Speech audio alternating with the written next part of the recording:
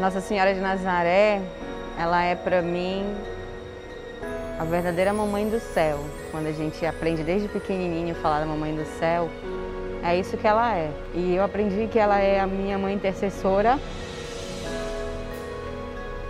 que junto a Jesus me carregaram no colo durante os momentos bem difíceis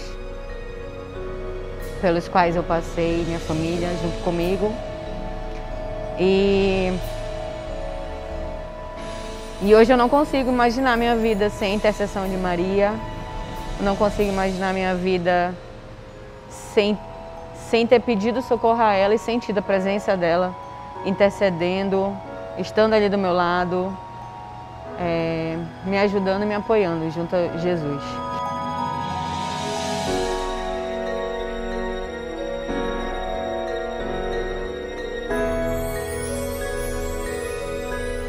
Há muitos anos, em 1993, nós estávamos acompanhando o Círio Fluvial.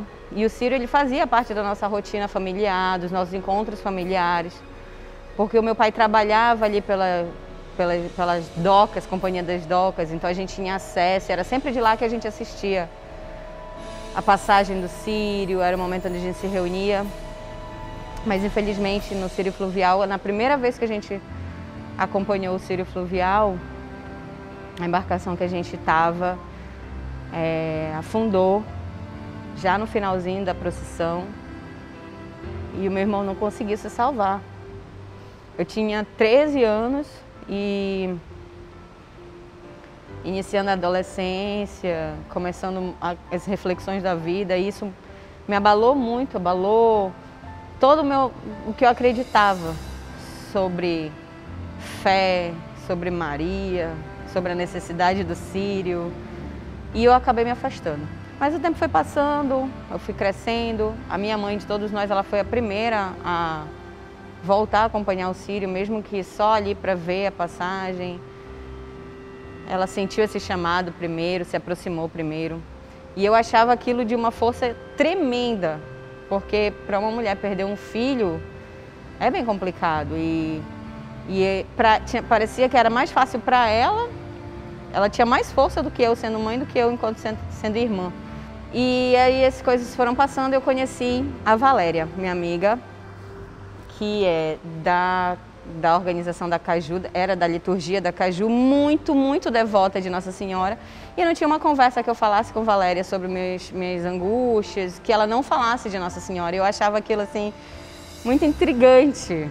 Como que ela, como que ela fala de Nossa Senhora como quem está falando de Deus, como quem está falando de Jesus? Como que ela sente esse amor? Não, não conseguia entender isso. Até que num desses anos, cinco ou seis anos atrás, eu comentei com a Valéria, que é madrinha de consagração do meu filho, uh, que consagrou meu filho a Nossa Senhora. Comentei com ela que eu tinha vontade de ajudar. E na mesma hora ela topou, e o meu pai e minha mãe também. Meu pai e minha mãe parecia que só era um empurrãozinho que faltava para eles, né? E foi ali que eu comecei a sentir o chamado de Maria para mim, de dizer: vem, te aproxima, vem sentir o amor, vem ver como é. E é muito bom é extraordinário. E ano passado veio outro baque grande, o diagnóstico de câncer de mama. Um câncer severo, grave. É... E eu comecei o tratamento em maio e ele iria se estender até outubro. E quando a médica falou que ele iria se estender até outubro, logo veio a minha cabeça, poxa vida, eu não vou poder estar lá no ponto de apoio. Eu bati um papinho com ela. E eu falei para ela, preciso estar tá lá.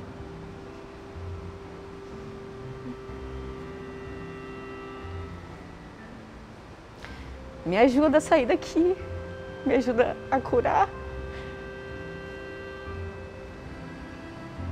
E eu consegui. Ela me botou no colo, intercedeu por mim. E exatamente uma semana antes eu terminei todos os meus tratamentos todas as químios, acabei tudo.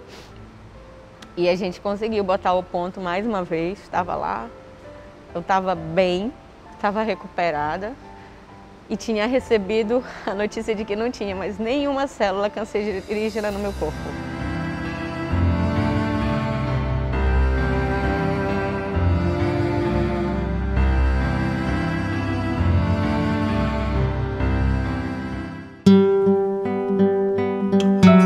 Apoio. Laboratório Amaral Costa. Medicina Diagnóstica.